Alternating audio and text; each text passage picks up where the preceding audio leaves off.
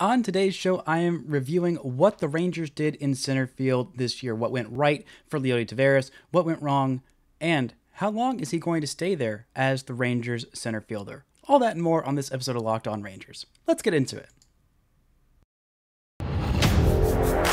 You are Locked On Rangers, your daily Texas Rangers podcast. Part of the Locked On Podcast Network. Your team every day.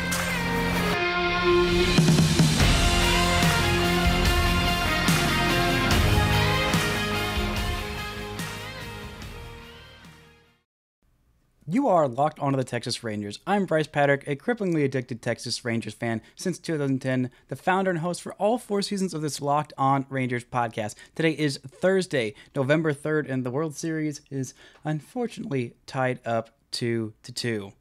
Thank you all so much for making Locked On Rangers your first listen every single day. If you're not already, you can go ahead and follow me on Twitter at Brice Paterik. You can follow the show at Locked On Rangers and subscribe on YouTube, where the best way you can help grow the show is to comment any single thing below. Now, on today's show, I'm going to be talking about center field, what Leody Taveras did, what some of the other players who played center field did, and how long it is going to be Leody Taveras' job to lose. But just before I get into that, just just a totally random aside, nothing to do with any baseball games that have been played in the last couple of days. I think that uh, combined no hitters are, are stupid and silly and um, aren't don't count. Um, anyway, totally totally non sequitur. Um, but let's get into center field.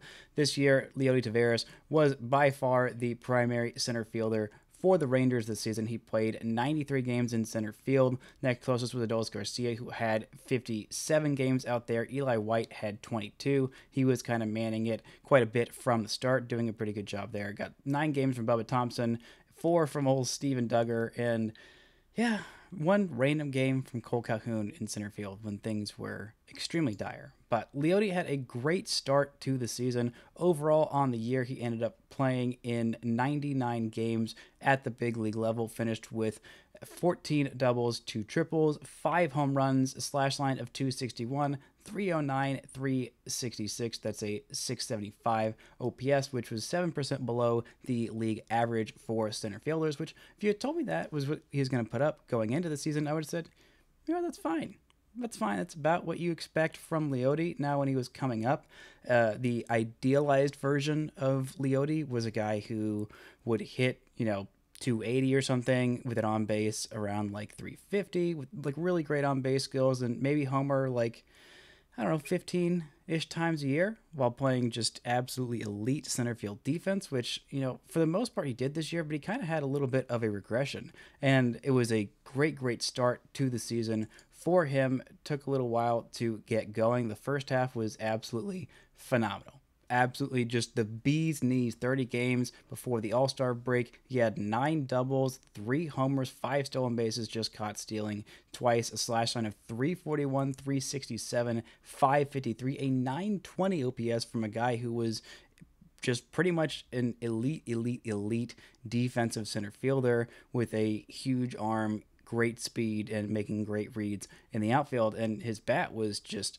a lot of it was these bloop singles that were falling in. I mean, he had just the absolute worst luck last year. Everything just went the worst way for him. It was nice to see him get some early success and kind of say, hey, I deserve to be here in the big leagues. I have earned my place, and he he really did. It took him a while to get called up. It was, uh, I think, May, the end of May, around June ish, when the Rangers finally decided to call him up. He had a really, really great start to his AAA season, went through a little bit of a slump, and the Rangers wanted to see him pull himself out of that slump before they called him back up. In 49 games in AAA this year, he ended up with seven home runs, 12 doubles, and three triples, and, and 820 OPS on base in the 330s, slugged 585. He started to show a little bit more power in 2021 in that season with 17 homers at the minor league level in 87 games. Then came up to the big leagues, did end up with three homers at the big league level, but overall offensively, it was just a horrible, horrible go for him. So the Rangers wanted to make sure that just because he was hot at the beginning of the season, didn't mean that he had figured out how to make all of those changes and figure out how to combat some of those slumping streaks and you know, credit to him, he he did, and he really really thrived in that first half. It didn't go as great for him in the second half. We'll get into that a little bit later. But we also saw some center field time from Bubba Thompson. Talked a lot about him on the I believe Tuesday episode when I reviewed left field.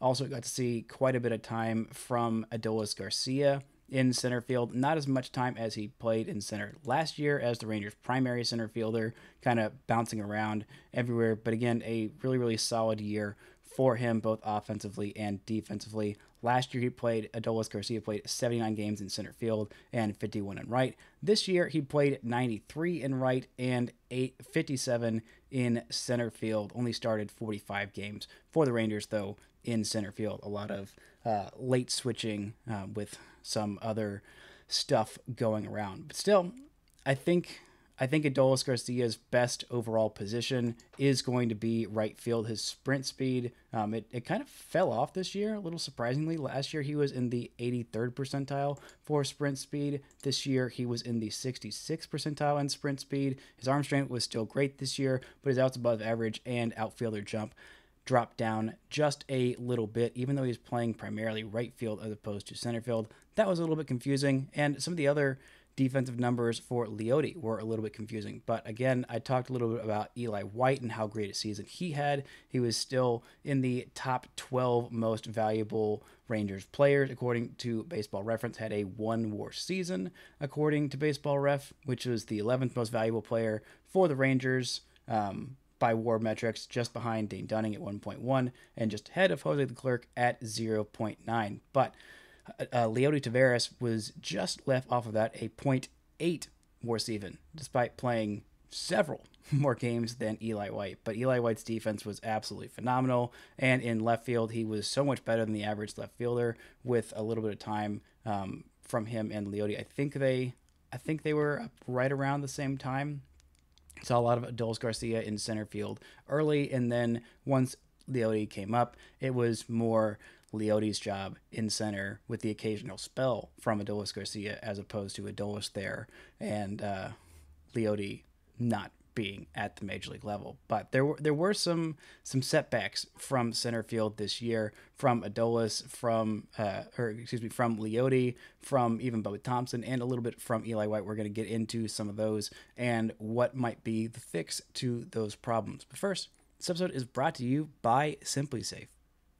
Did you know that over the holidays, property crimes like burglaries and package thefts spike nationally? That's why our friends at SimpliSafe Home Security are offering 50% off their award winning security system so that more families can feel safe and secure this holiday season. Order your SimpliSafe system for half off today and enjoy advanced security and greater peace of mind this holiday season. SimpliSafe was named the best home security system of 2022 by U.S. News and World Report, a third year in a row. In an emergency, 24 7 professional monitoring agents use Fast Protect technologies exclusively from SimpliSafe to capture critical evidence and verify the threat is real. So you can get priority police response. SimpliSafe is a whole home security with advanced sensors for every room, window, door, HD security cameras for inside and out, smarter ways to detect motion that alert you when the threat is real and even hazard sensors that detect fires, floods, and other threats for your home. Don't miss your chance to save big on the only security system I recommend. Get 50% off any new SimpliSafe system at simplisafe.com slash locked on MLB. Uh, there's the biggest discount of the year. That's simplisafe.com slash locked on MLB. There's no safe like SimpliSafe. Now, some of the negatives. Obviously, if you were watching a whole lot in the second half of the season, you could tell it was not Leody Taveras' best offensive showing. In 69 games in the second half, which was a nice number, the numbers were not so nice. He had a slash line of 231, on base of 288, slugged 297 with a 585 OPS. That is, uh, let's see, doing the math, 335?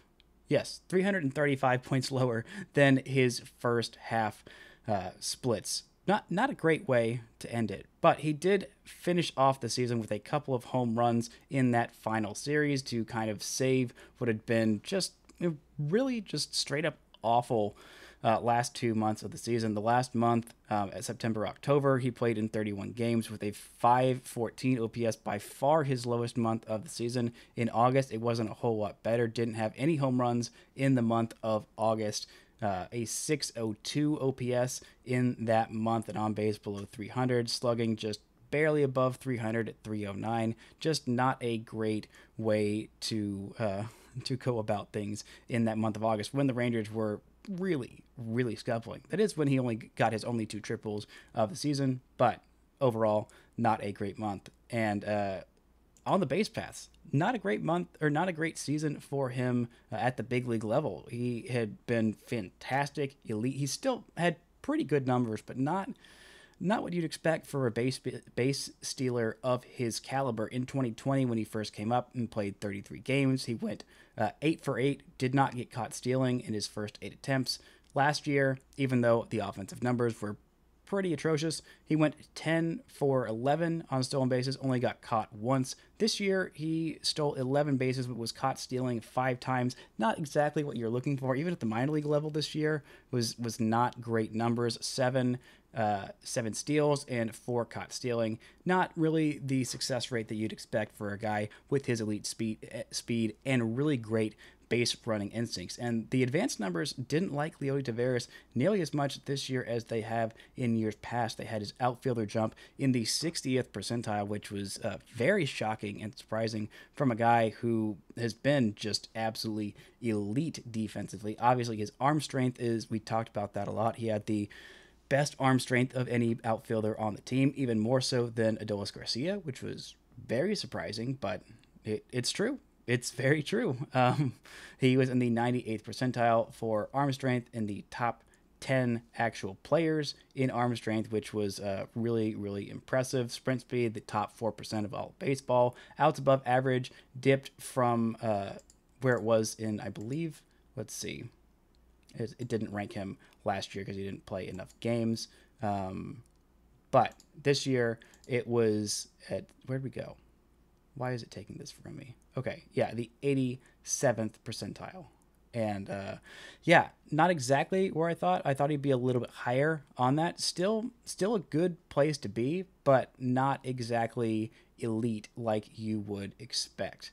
But uh, some of the things that he, he did better than I expected were his max exit velocity was way, way higher than I thought it would be, and his ag- average exit velocity too. His average exit velo was in the top half of baseball, 55th percentile, max exit velo in the 88th percentile, which means, but also he wasn't barreling pitches a whole lot. The expected slugging and some of those numbers were not great, and the hard, hard hit percentage was also not great in around the bottom quarter of baseball. But still, the average exit velo was still in the top half of baseball, which I don't know exactly what that means, but my assumption, based on my understanding of math and how numbers work, is that he didn't hit a whole lot of balls hard, but when he got a hold of one, boy howdy, he absolutely freaking crushed it. we've seen him get into some pitches. He's got he's got a lot more raw power than shows off in games, and uh, his approach hasn't translated as well to the big league level as I thought it would. I mean, he was supposed to be a really, really advanced hitter. That's why he's had all this top prospect shine. But the one thing that has still never gone away is his elite glove, his elite speed, and his big old arm patrolling there in center field can provide a whole lot of value defensively. The advanced war metrics did not like his defense this year at baseball reference had his d war at exactly zero so right at league average which does not make sense in 99 games for a guy who is an elite center fielder we saw him make a few more boneheaded plays than we had seen before which was not very typical of him, but that was definitely the aberration, not the norm this year. Still made some really great catches, some really great routes, and some really big throws. Last year, he had a D war of 0.8, according to baseball reference, and the year before, in 33 games, he had a 0.7 D war, which I believe was in the top 10 of all of Major League Baseball in that shortened season, even though he played around half the season. That's how good he was defensively in his first year in the big leagues. But this was not as great a season for him. I'm sure he is going to bounce back. Some of the uh, predictions on him this year had him at a 1.6 Fangraphs WAR. Um, his weighted runs created plus was about 5% better than they expected. Same with the WOBA. But again, I don't think they expected how bad this final two months of the season would be. He did finish with a 1.2 uh, Fangraphs WAR, which did like him just a little bit better. The Fangraphs uh, prediction composite predictions had him playing 128 games this year with 13 homers, um, and on base of 293 and slugging 370. His slugging was four points below that, but his on base was uh, quite a bit higher than that. If he had played all of those games, I think he probably would have ended up with a 1.6 baseball reference for. But we've seen what mediocre to subpar offensive uh, center fielders can do if they have that elite, elite defensive instincts and uh, ability to patrol in center field, and what they can make up for for some of their less talented, less uh, less rangy outfield counterparts. I mean, we're seeing it in the World Series. We've seen it with the Phillies uh, for most of the second half, and uh, in the playoffs specifically, with Brandon Marsh being an elite defensive center fielder and having Nick Castellanos on one side and Kyle Schwarber on the other side. He has made their outfield fine. Fine. Now the Rangers don't have a Nick Castellanos in right field. Adolis Garcia is a really good uh, defensive right fielder, and depending on who's in left, whether it's it's Bubba or whoever it is, I'm pretty sure they're going to be better defensively than Kyle Schwarber.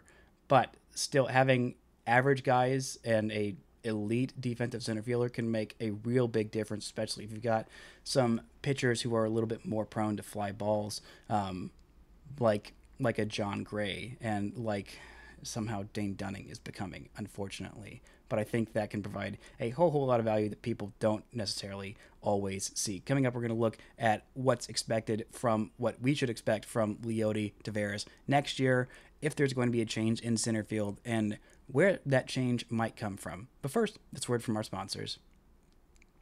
So I think out of camp, it's definitely going to be Leody Taveras' job to lose. There will be a little bit of competition, some coming from Bubba Thompson, some probably coming from Eli White. Maybe Josh Smith gets a look. Maybe Adolis Garcia gets a little bit more of a look if the Rangers want to go and put Adolis in center field. I don't think that's necessarily the best option if they're going to go spend some money on an outfielder. It, it's almost certainly going to be for left field. But internally, I think that's where the competition is going to come from. If they do want to go for the free agent route, there's not a whole lot of options in center field. If you believe that Aaron Judge is a center fielder and you want to go throw all your money at that and say, you know what, to heck with pitching, we're going to get a bunch of mediocre starters and just bomb the crap out of everybody. Um, well, it's it's working ish for the Phillies, but they also have two top end starters and the rest of mediocre starters. I, I don't think that's going to necessarily work out for the Rangers' favor. Maybe could get them to the playoffs. I mean, who knows? There's also Brandon Nimmo as an option who played center field for the Mets this year. I think that's a really enticing option. I might prefer him in left as opposed to Leody, but some of the advanced metrics like him a little bit better in center field this year. I don't think that's necessarily going to hold up next year. I don't know what the deal was with Leody's defense this year, but I do think he is absolutely going to rebound and have a much, much better season defensively next year. If you want to upgrade offensively, then I totally get that. There's also Kevin Kiermaier. If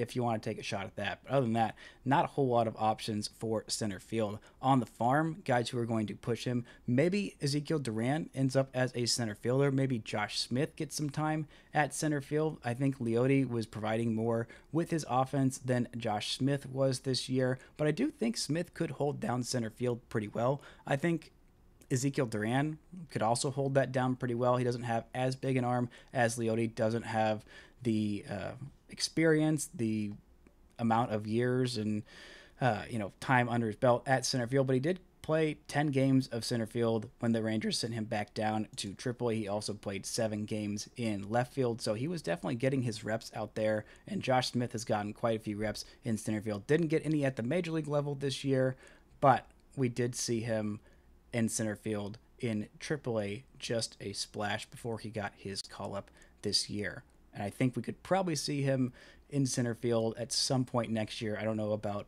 as a primary starter or anything like that, but I think that is definitely something to look out for. If you're looking on the farm for options to eventually replace Leody, I think Evan Carter is is going to be the guy. I it's obviously there's nobody on this farm that has the same defensive instincts and overall profile uh, in center field as Leody. There's not a whole lot of players in baseball that have that profile that can do the things that he does. I mean, Kevin Kiermaier at his peak was kind of there. Trent Grisham right now is, is kind of there, but Leody is is really really up there in terms of the best defensive center fielders, and I don't know how he wasn't even named a finalist this year. Looking a little bit more at the metrics, I kind of see why.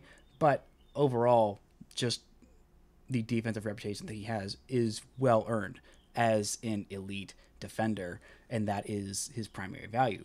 But offensively, he is not quite living up to the billing. I don't think he's going to have a season where he has sustains that first half success in that little 30 game sample size of a bunch of little bloopers, uh, you know, dropping in and him getting these bloop doubles all over the place and nine doubles in a month. A lot of those were not necessarily ones that were lined to the gap and he just, um, you know, cruised into second base. A lot of them were kind of bloopers down the foul pole and he just used his elite speed to get on, which again, those still count as doubles. He's still standing on second base and uh, there's there's still some value in that, but I don't necessarily think they're super super repeatable. But Evan Carter is is I think at this point the man of the future in center field. Uh, eventually, I think there is a way that he and Leody could you know coincide with Leody in center field and him in right field. But I think the overall offensive upgrade is is going to be pretty substantial and I think the defensive drop up is not going to be that bad. I haven't seen him in person in center field, but the reports that I've heard is that he is pretty legitimate center fielder.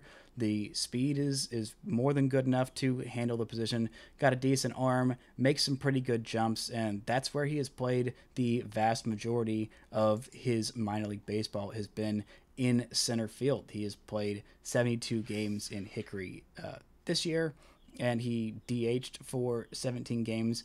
Played uh, three games in right field this year for Frisco, two games in center field during the regular season, and DH'd just one game in uh, 2021 when he only played 30 games. He played all of those in the outfield, playing center field for the Down East Wood Ducks as an 18 year old in 2021. So, center field is pretty much his position, and I think the offense is going to be fantastic. One of the I think he has the potential to be one of the better offensive center fielders once he comes up and hits his full stride and his potential. The kid has been fantastic. He is still so young. He just turned 20 uh, on August 29th. He is going to be 20 for the entirety of the season. And I really do think that he could be pushing for a big league roster spot slash starting spot by the end of 2023. He is just that good and that advanced. Pretty sure he's going to start the season in Double A, but I don't think it's going to be long before they push him up to Triple A. And if he dominates at Triple A, I don't know, maybe by August he is pushing for the big league club. I don't think he's going to push for it out of camp. I think the Rangers are going to be, you know, he, he did dominate in the playoffs offensively in his small sample size in Frisco towards the at the end of the season once his high A season was done. He more than held his own, helped Texas get to, uh, helped Frisco get to a Texas League championship, and I think that was a really nice experience for him. Just honestly getting more games under his belt at Double A and against some of the better Double A teams in the league, and he more than held his own and kind of helped push this offense at times um, be a, a real engine at the top of the order and I really, really do think that this guy could be seeing Arlington by sometime in August of 2023, which is just really, really exciting for a guy who, at the time of the draft, was just the most confusing pick and is looking like one of the best Rangers draft picks in the late in the last half decade, and he's not even in AAA just yet. But I think Leody has the potential to be a really good overall center fielder hold down that job and make the Rangers say, you know what, Leody is such a good defensive center fielder, and his offense is about league average. If he can just get his offense to you know league average for a center fielder and get back to his elite defensive ways, this is this is an outfield that is made that much better. You could have uh, Evan Carter, not Aaron Carter, as your right fielder of the future, and then Aaron Zavala in left field for the foreseeable future, and have these guys on the cheap and performing pretty darn well. Plus, you have Adolis Garcia still for the next, I don't know, four seasons. So there's not a whole lot of need to go get some outside help because the Rangers have some depth at center field and I think they're definitely going to use it. Hoping to see a better season from Leody overall next year. It was nice for him to end it on a really, really good note, and it was nice for him to be able to start his major league season on such a great note. I think he is a big leaguer. I think the Rangers could definitely use him and someone with his skill set. I'm just hoping that the offense can catch up to where it needs to be for him to be an everyday starting player. But that's going to do it for this edition of Locked On Rangers. I'm going to be doing a mailbag on Monday, so I'm going to be putting out a tweet later today to send your questions in. Going to start doing that during the off season, just a Monday mailbag episode, so y'all can hear what you want to hear from me. That would be um, really big help if y'all could send in some questions there. Tomorrow's episode, I think I'm going to be doing a little bit of review of the bullpen, maybe a little bit of a general a general preview of what the Rangers need in free agency. Who knows? Dealer's choice. We will see tomorrow. But that'll do it for today's episode of Locked On Rangers. Thanks again for making us your first listen every single day for your next listen. Check out Locked On Sports today. From games that matter, the biggest stories in sports go beyond the scoreboard and behind the scenes with local experts and insights on only Locked On can provide. Locked On Sports today is available on this app YouTube, or wherever you get your podcast. Thank y'all so much for listening and subscribing. And until next time, don't forget to enjoy baseball.